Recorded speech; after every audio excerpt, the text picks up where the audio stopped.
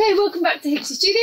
And today we have a slimline tent-fold card for you to make with uh, lots of messy, inky work. So this is the card that we are going to be uh, creating. We're going to be using uh, Jeanine's Art Butterfly Mix and Match die set. And I've got um, two distress oxides to create this little bit here.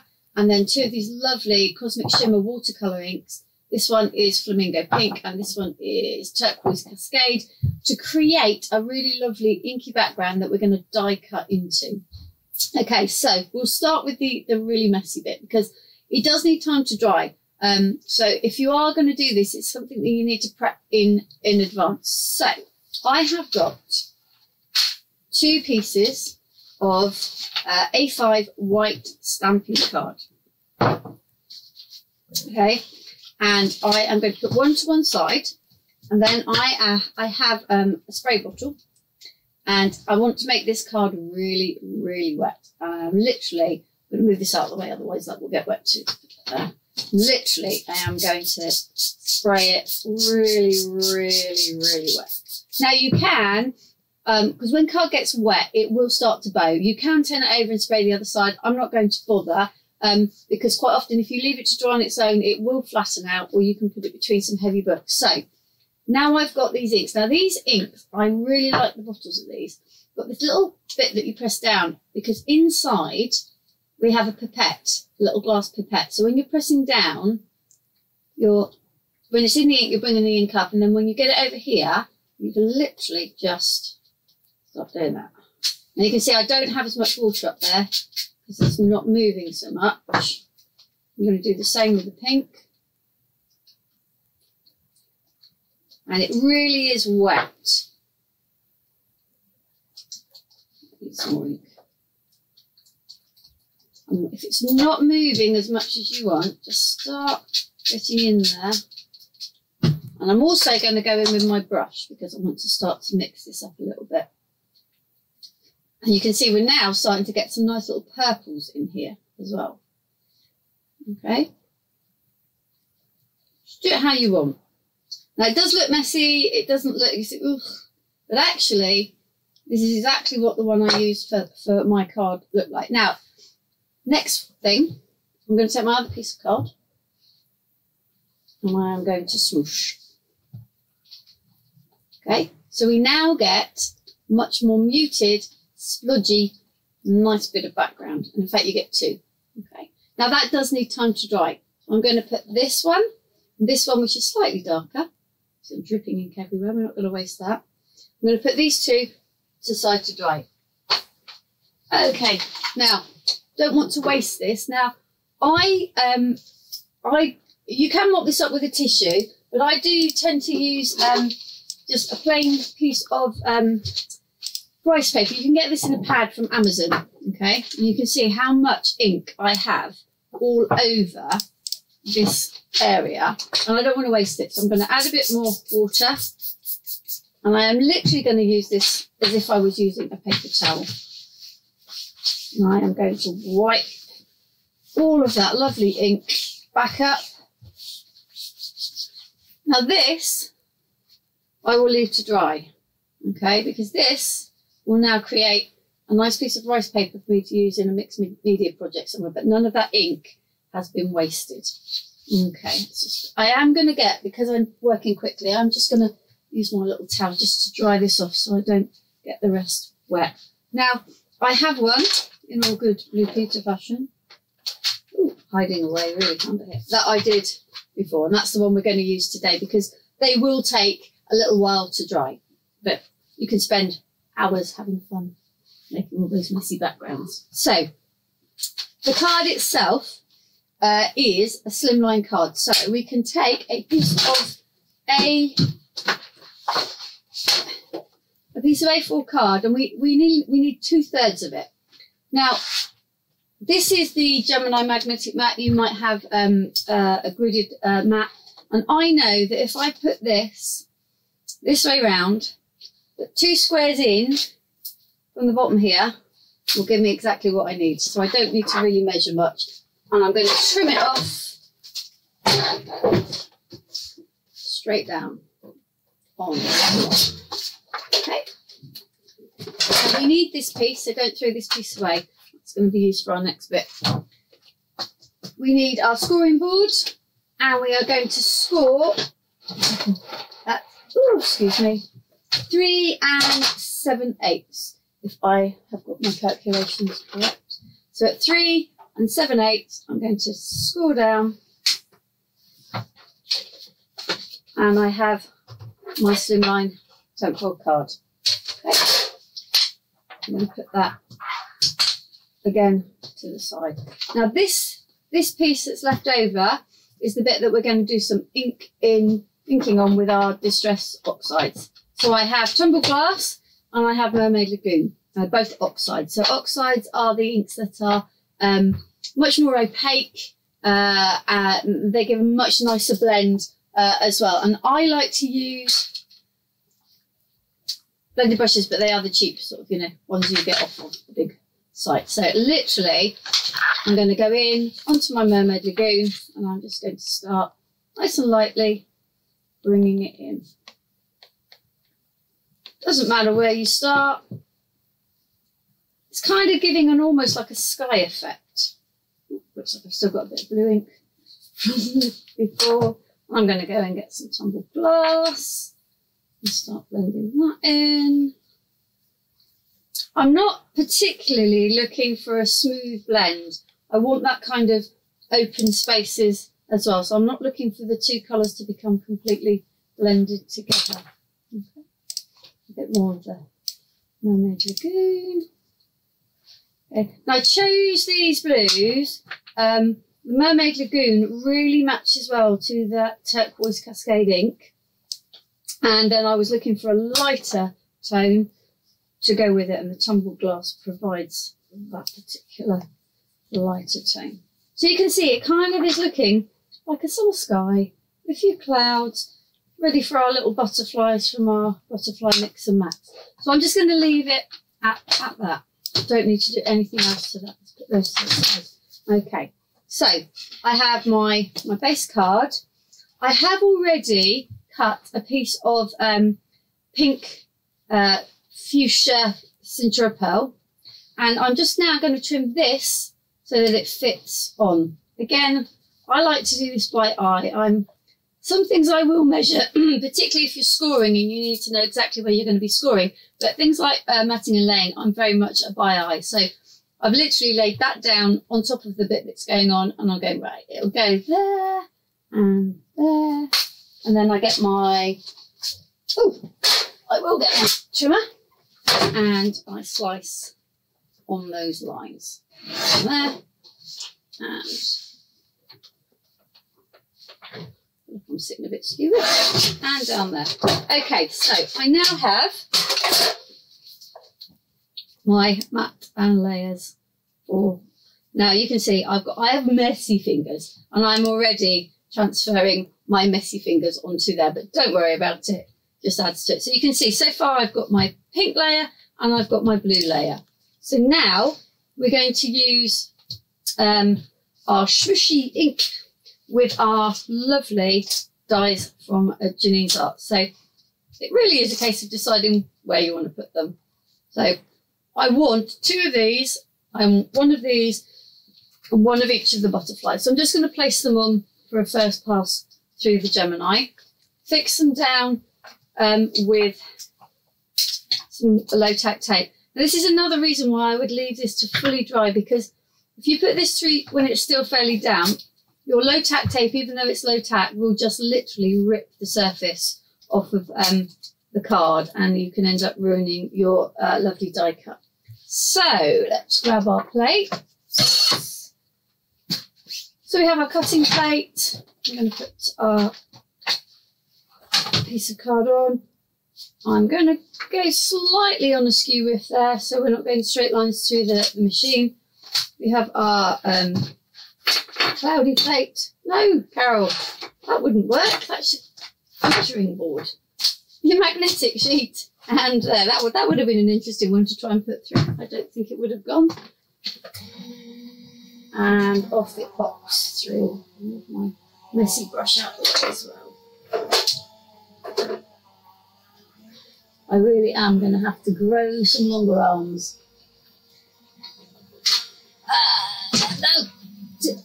Out it pops. Excuse, excuse me. I am not quite long enough in the arm there. So, so here's our first cut. Our three butterflies. See, even now you can see it's taking off that top layer where the ink is. So just be very careful. There's my three butterflies. I'll leave this just so because I don't need to cut those again. I have my one frame. Keep this piece, can be used for something else. And I have this lovely decorative piece and I'm just going to run my brush over the top of it to remove all my bits. And then get my pokey tool and just poke it out and it will come out really beautifully. Perhaps if you have nails, which I don't really. There we go. Okay. okay, there are a few tiny, tiny, tiny little bits. They are cut. They just need a little bit of an extra push out. So there's one, and we're going to do this again. Okay. Now I can see where I placed that one, I got a little bit of white, but it's just what it is. Ooh, sticking to the die. So I'm going to put this one back in. Just make sure all the bits are out before we do that. And we'll there. Uh, I try and avoid the um, the white bits this time. So piece of low tape. Take that down. And put my board back on. And back to the machine. And while that's doing that, I'm going to bring my card back in. And I'm going to start looking at how to place my pieces. Okay. Now you'll notice that I have, I bring my main card back in, that I have a white background there. You don't have to do that, but I thought it brought out um, the sentiment of it. So we'll, we'll look at how to do that in a moment. Let's get our second uh, piece back out. This bit looks quite a lot brighter than the first bit. Okay, then I'll brush all over the top of it. Now, if if you have lots of patience, which I don't, um, there are some lovely little bits in here that you could keep for tiny little embellishments, either on this project or uh, on other projects. Um, but uh, I'm afraid I'm, I'm, not a great one with all those fiddly little bits. They just, uh, yeah, take a little bit of time. So here we go. As you can see, this one is a lot brighter. Now I could, if I was being really picky, I could decide, actually, I want another one like this and go back in. But for the sake of what we're doing, it will do. Um, but you have that choice. No background that you ever do uh, uh, will be the same. They will be completely different and unique. Okay, so there's our, our two edges and our bit for our um, sentiment. So Now all I did in order to get a white background was take an offcut of the card and just very, very roughly measure. If you can see, I've just let this go slightly over and I'm just marking it slightly in. And the same here, just let it go slightly over the edge and just mark slightly in. Okay. Now, because I know I need three that size, I'm going to cut down the whole strip so it's all the same length. Excuse me.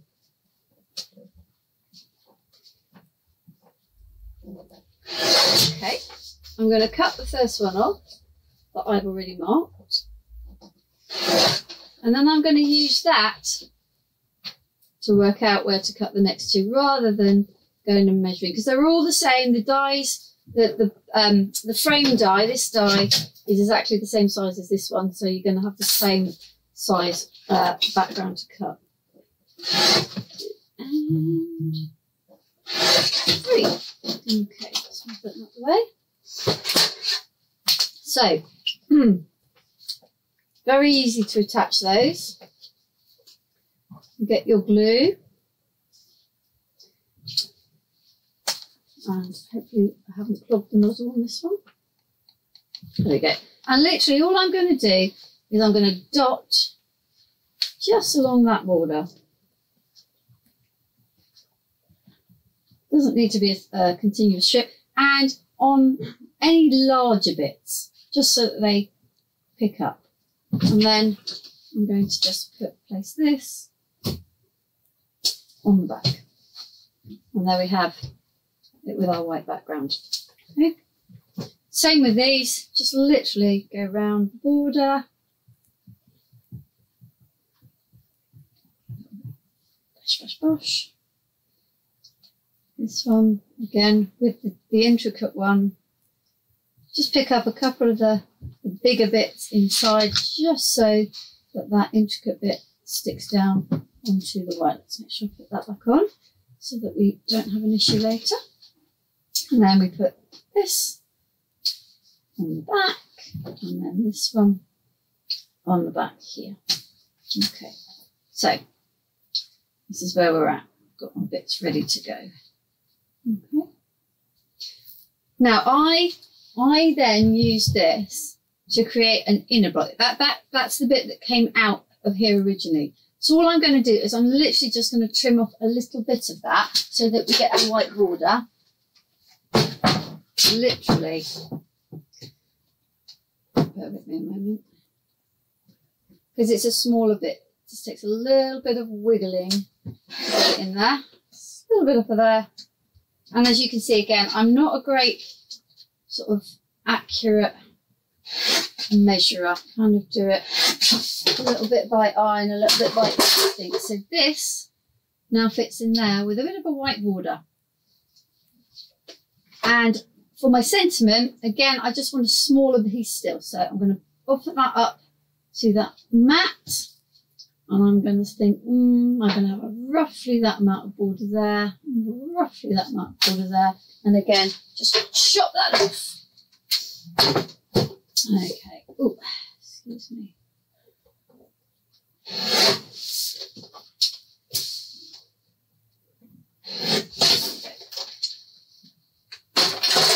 And then that will fit here. Okay. Now that piece here is um, perfect for if you want to stamp your sentiment, if you have a die cut sentiment. Uh, it's entirely up to you. I just happen to use um, one of the die cuts, uh, the Old Crafter's Companion sentiment, uh, because it fits nicely in there and I've cut it out of the, the, the Pink Centura. So literally this is now ready to assemble. So I'm just going to move it off the card, get my glue, start with the, the big mat. And I must admit, I don't think I cleaned up my ink particularly well because I'm getting little bits all over, but um, you'll do a better job than that when you're at home. Okay, yeah, okay. And this is this is the distress oxide layer to add that kind of like sky effect. Okay. And then now you could you can put these flat on. If you want a bit of dimension, you could use a bit of glue gel here. And the other thing I know I did before was to reverse them. So if you look, that is the same way round. So what I will do with this one is flip it over. No, or was it the right way around the first way? No, I think it was. Yeah, that's the way it is. And I'm flipping it there. My apologies. Ah. Just so it's not um, exactly up the same way. That one goes there. Before I stick this on, I will have my little colour bit in there, my white bit, just to make the uh, sentiment pop. Okay, let's put that down. Now, if you have um, a really fine nozzle, then these are really easy to do. I'm just going to find my tweezers. I oh, have I really just got that stuck in my hair? I'm very sorry. I have lost half my sentiment. It got caught in my hair and is now somewhere on the floor. But I will show you how I would do the first part. I don't know where that went. No? It's not to worry. I'll show you. I'll show you how I would do this bit. I tend to hold it in my tweezers, and I tend to just very gently dab the glue on the back. And to, to get rid of any excess, either on a scrap piece of paper or on the back of my hand, and then because I've got the tweezers, I can get a little bit of um, control over it. Okay, we found it. Excellent. So again, hold it up the way that you want to stick it. Turn it over, holding your other hand. Get your glue, very gently dab around, make sure most of it is covered. Remove any excess either on your hand or on a scrap piece and then bring it up to where you want it to be. Now, the last bit we need to do is we need to get our lovely little butterflies. So let's find our three dies. One, there's two of them. And everyone's hiding there. We're going to just run the brush over to remove as much as we can before we poke it out. Okay. So there's this one. Now, I, I will put this one as though it's uh, balancing on the corner there. This one here uh, looks like it's sort of partly in flight and it looks like it's heading in from the other angle. So I'll put this one at this end and then the last one of the three butterflies in the set is a full-on sort of face facing you kind of butterfly and that one can go at the, the bottom. And it's one of those, um, you've probably heard it before, like a rule of three. Things always look better in three. So we've got our, our three three parts here, and then we have our three butterflies. It, it just makes uh, the card look more structured. So now again, you can um, slightly shape these little butterflies and then just put a little bit of glue on that bit here. So she's got a little bit of dimension there. And then same with this. And you can see even from the where the but I put the butterflies that some of them are paler. So think about where you're placing your dies on your, your inky background, um, depending on what you want your outcome to look like on your card. Okay, so a couple of little bits caught in there. Just put those up in the poker tool. There you come. And then my last butterfly there. We go.